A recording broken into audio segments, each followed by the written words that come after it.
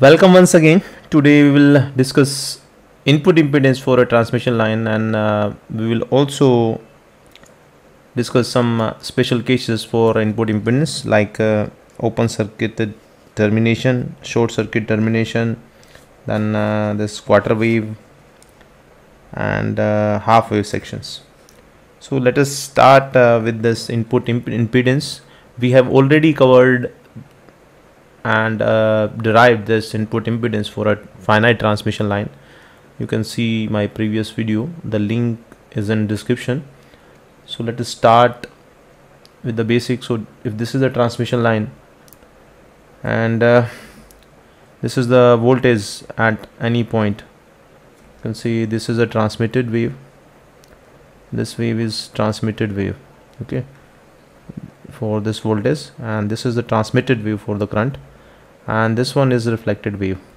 Hmm, for the voltage term and this is the reflected wave for current.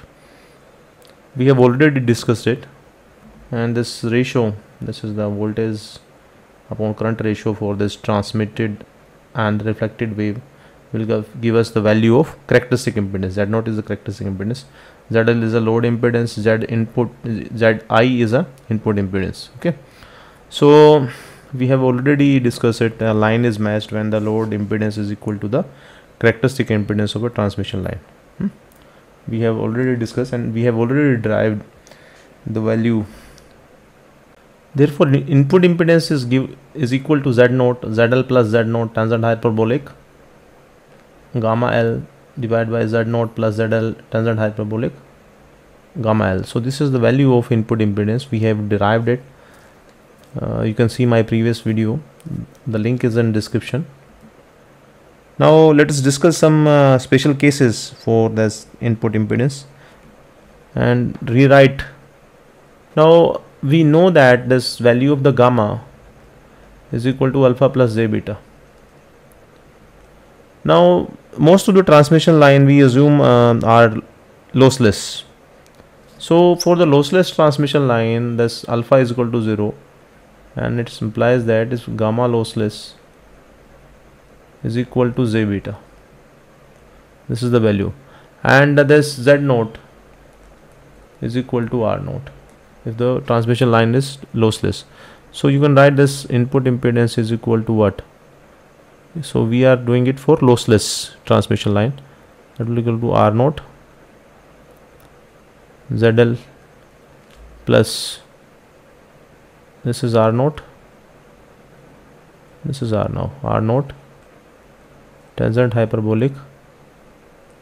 J beta l divided by z naught plus zl tangent hyperbolic. J beta l. So we also know that tangent hyperbolic j beta l is equal to j tangent of beta l so it implies that zi is equal to r naught. So this is r naught here okay? r naught zl plus r naught. So j tangent of beta l divided by r naught plus zl z is also there. Tangent of beta l so this is the value. Now if the this open circuit termination where this when this word termination is here so termination means load. Termination the end of the transmission line where we have load. So load impedance zl is equal to infinity. You can say that. Hmm? so if zl is equal to infinity so divide this numerator and denominator by zl therefore zio o. Stand for open circuit is equal to r naught divide the numerator denominator by zl 1 plus j r naught divided by zl tangent beta l divided by r naught zl plus j tangent beta L. Okay. So if this ZL approaches to 0 hmm? ZL approaches to 0 so this is the case and this ZL approaches to 0 infinity sorry. ZL approaches to infinity. So if put the value of ZL you will get this this term will be 0 this term will be 0 so you will get here a simple term that says uh, z i is 0 is equal to what? Minus j. Because this term will remain cross multiply this with j. So you can write this minus j. R naught. This r naught divided by this tangent beta l. So that will be cot beta l. So this is the value. Now you can see here the input impedance of open circuited lossless line is purely reactive. So the line uh, can uh, can be either capacitive or inductive because of this function cot beta l hmm, will depend this the impedance will be either uh, reactive induct uh, capacitive or inductive. Okay so it will depend on the value of cot beta l whether it is a positive or negative. So this will depend on the value of beta l. What is beta l? Beta what is beta? Beta is 2 pi by lambda and this l. So it will depend on the value whether this cos cot beta L is positive or negative. Hmm?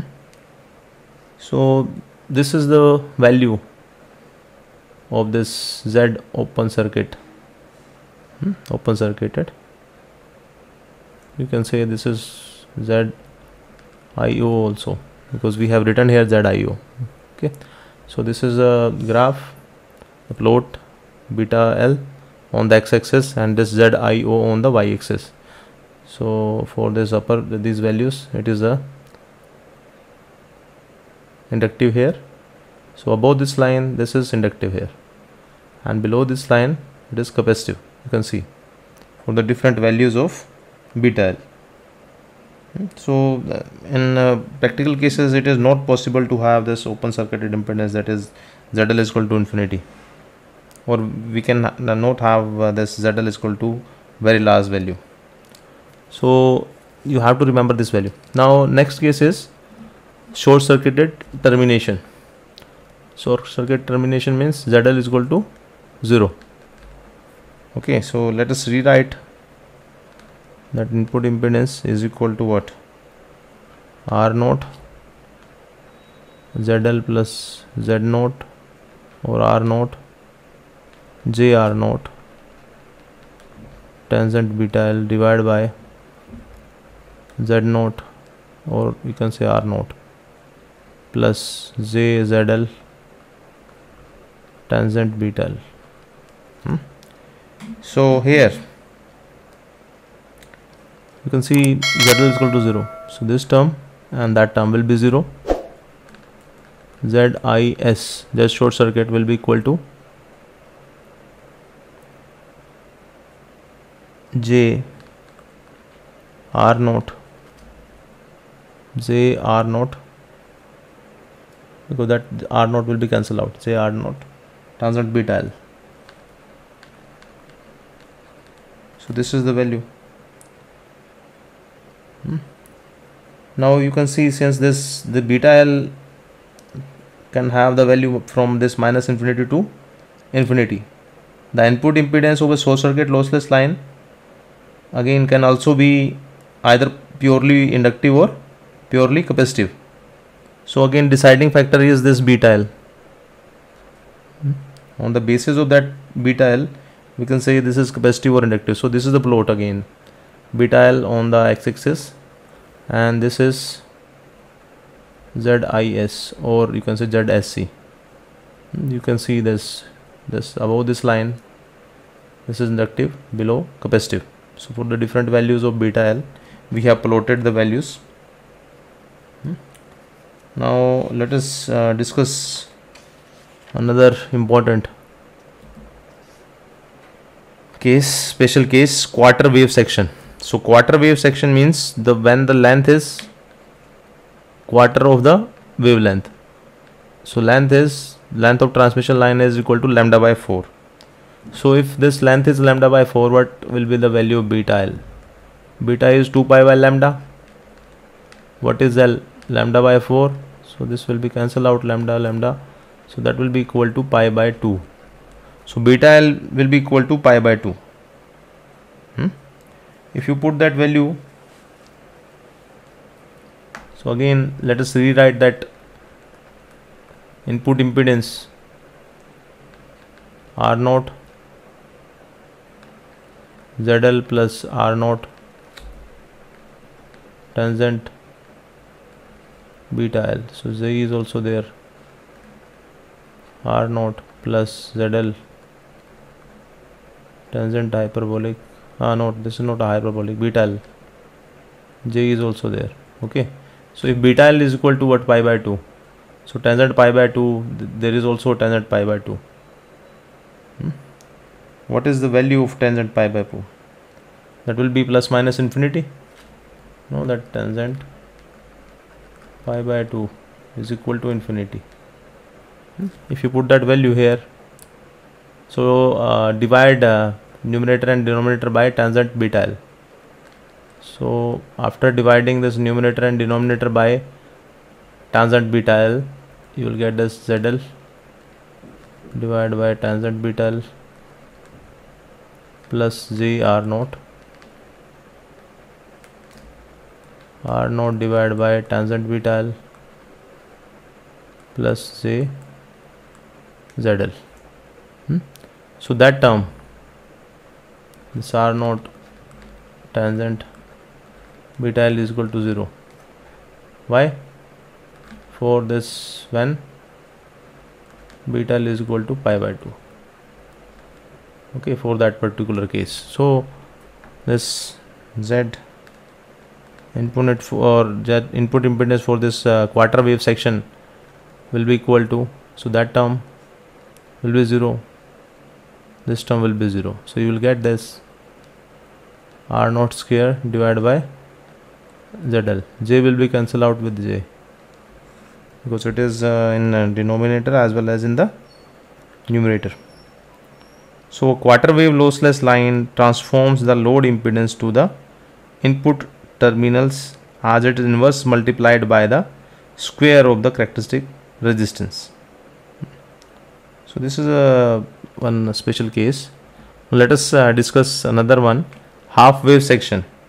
Now for the half wave section the length of the transmission line is equal to lambda by 2 for that particular case what will be the beta l? Beta l 2 pi by lambda is beta. What is l? Lambda by 2 so that will cancel out. You will get pi here. So beta l will be equal to pi. So tangent what will be this tangent beta l? Tangent beta l is equal to tangent pi. So that will be equal to 0 so put that value here. R naught zl plus j r naught tangent beta l divided by r naught plus j ZL tangent beta L. Okay, so when this beta L is equal to pi, so this term and this term will be equal to 0. So Z input is equal to R naught. ZL divided by R naught. So that will be cancelled out. It implies that input impedance is equal to ZL so this is for half wave line or half wave section. So half wave lossless line transfers the load impedance to the input impedance without change. Hmm? now for this half wave uh, line we observe that a half wave line with loss does not have this property unless okay we have this another property also. We should have this zl is equal to z naught. Then we will have this zi is equal to z naught. Another condition is all all are equal. You can say that. So if you revise for an open circuited line open circuited line. Hmm, for that particular case when this ZL approaches infinity then for these cases so input impedance for open circuited is you can say Z naught cot hyperbolic gamma L not beta L gamma L for general case. We are not writing for uh, lossless transmission line. This is general case. And uh, short circuit line for that ZL approaches to 0 for that particular case ZIS is equal to what? Z naught tensor hyperbolic gamma L. If you multiply you will get zi0 multiplied with zis is equal to z naught tangent hyperbolic gamma l into z naught cot hyperbolic gamma l. That will be cancelled out because they have the inverse relation. So it implies that z naught is equal to what? Under root zio ZIS so this is the relation you have to remember this relation. And also this propagation constant also have that value 1 upon L. Tangent hyperbolic inverse under root of ZIS divided by ZIO hmm? so this is a meter inverse value is in meter inverse and this value is in ohm. Hmm? so you have to remember these equations. These are the general equations for open circuited and short circuited input impedances. And we have a relation for uh, these uh, impedances with the characteristic impedance. And we have also this propagation constant in terms of these impedances. So that's all for today. Thank you. Thanks for watching